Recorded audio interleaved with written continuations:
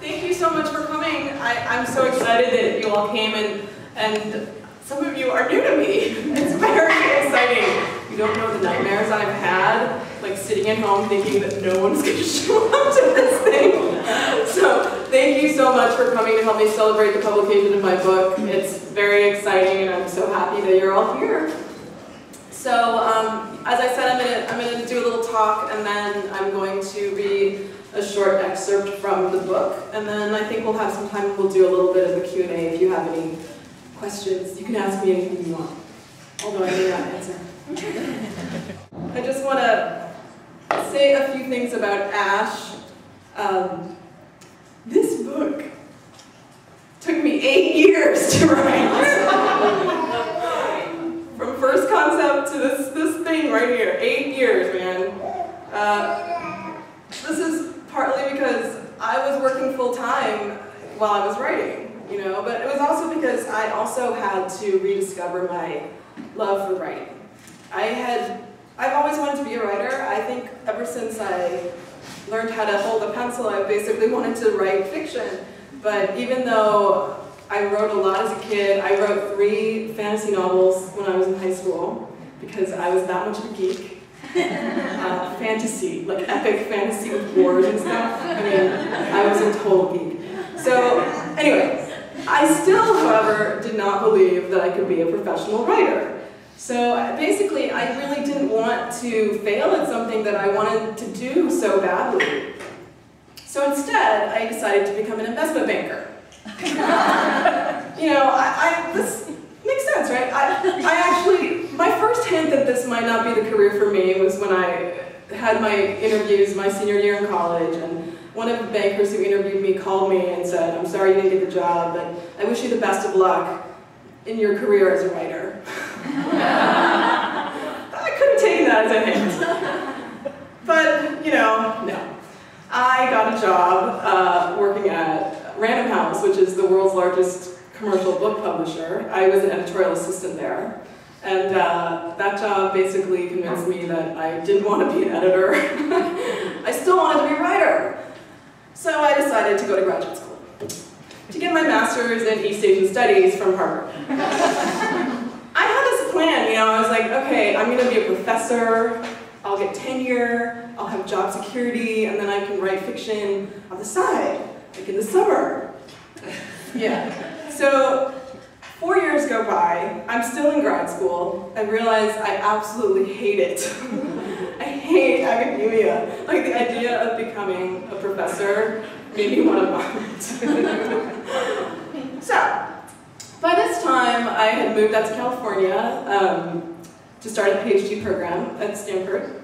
And then in September 2001, 9-11 happened. Uh, when it happened, I was in my first, I was in a, a, new apartment in Palo Alto. I had no furniture. I heard it on my clock radio. I thought it, I mean, I didn't think it was real. Right, so it made a huge impression on me because I had lived in New York for a little over two years. My second year there, I lived in Battery Park City, which is in the southernmost tip of Manhattan.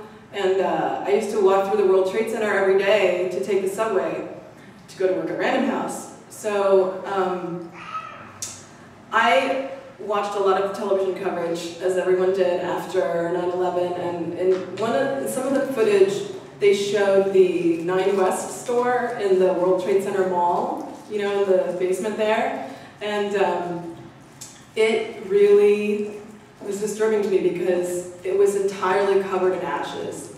And seeing that photo, th those images, they just really made a huge impression on me.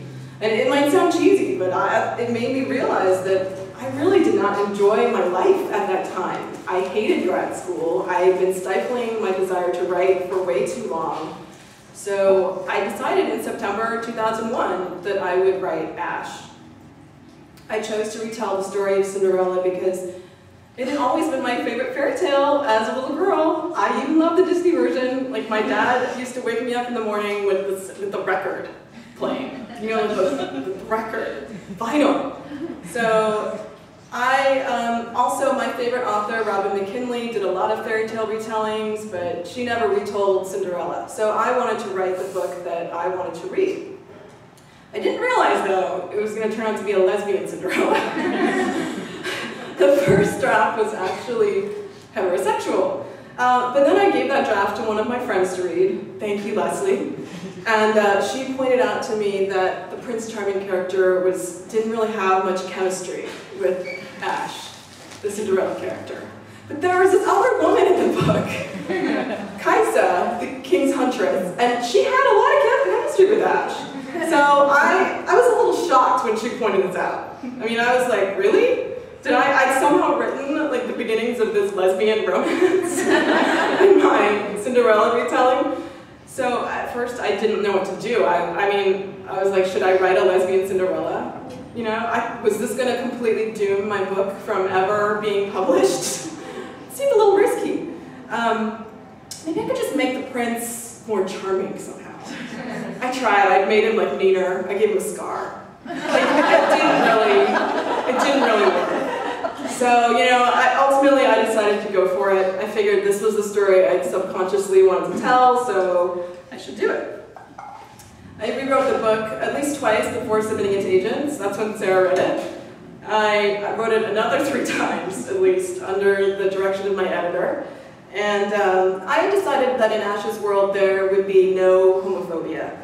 Basically, I didn't want her story to be a coming out story not a coming out tale. I wanted it to be a fairy tale. So the reactions that I've gotten to the book have, um, most of them have been really positive, but I think that most people seem to like the fact that uh, same-sex couples are entirely normal in Ash's world. But some of the responses I've gotten have kind of surprised me. Some people have commented online that they don't think it's realistic for gay people to be so accepted so easily, or that you can't be gay or minority for that matter, without being persecuted. Um, so you know what? I entirely reject that. I think that the real fairy tale is not the fact that Cinderella could be gay. It's that nobody cares that she's gay. The fairy tale is that she can fall in love with another woman and it's as normal and as wonderful as any heterosexual romance. So to me, that's what Ash is about. I think we need to imagine worlds that are free of homophobia, if only so that we can continue to work in this world and not be discouraged, you know, as we continue to fight for that imagined world free of homophobia. So that's, that's what Ash is about for me.